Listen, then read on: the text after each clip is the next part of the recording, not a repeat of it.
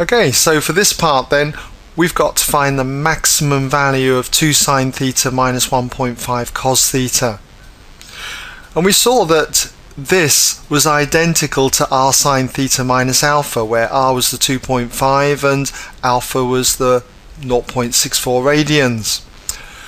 Now, finding the maximum value of this then is very easy when you've got it expressed in this form because it turns out to always be the R value, in this case 2.5. So the answer is that the maximum value is 2.5. But why?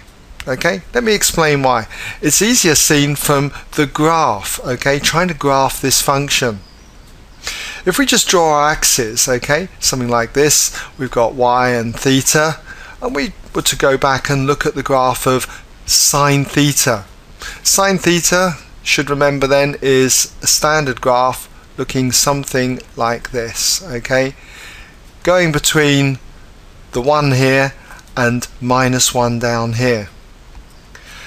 And it peaks at 90 degrees, or in radians, that's pi upon 2 and crosses here at 180 degrees or pi radians bottoms out at 270 degrees or 3 pi upon 2 radians and returns back to zero here at 360 degrees or 2 pi radians.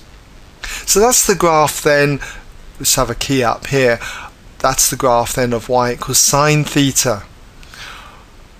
Now, if we look at sine of theta minus 0.64350 odd radians, then what that does to this graph, if we replace the theta with theta minus 0.64 odd radians, it translates this graph by 0.64 radians to the right. So you're going to get a new graph looking something like this, okay?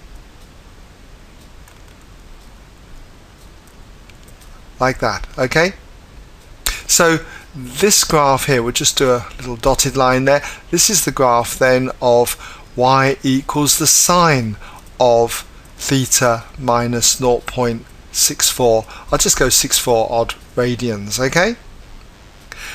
Now once we've got that graph we multiply this by 2.5 and that has the effect of stretching this blue graph now by a factor of 2.5.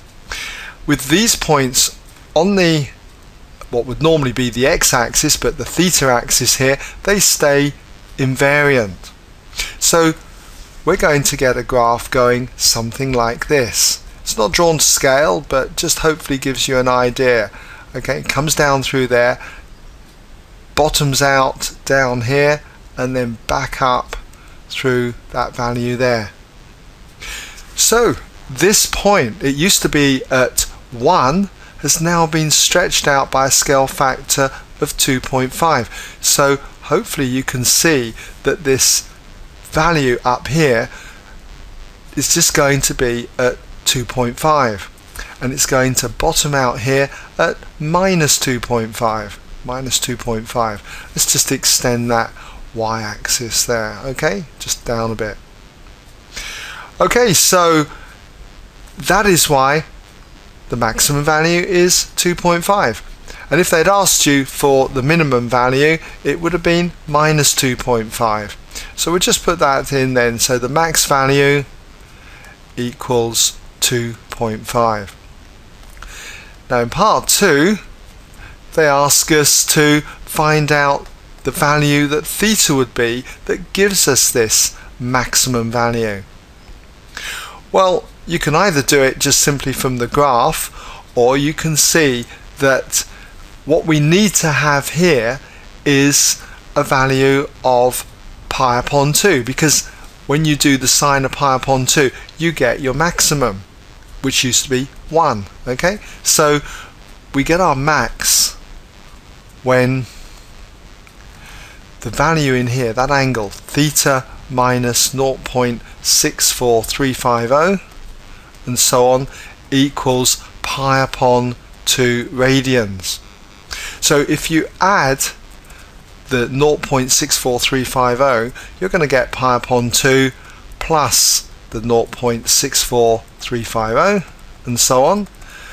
And you could see that that's going to be the case where it peaks here because it's just above this blue graph where it peaks, which was the red graph shunted to the right by 0.64350 radians. There you go, up there. Okay?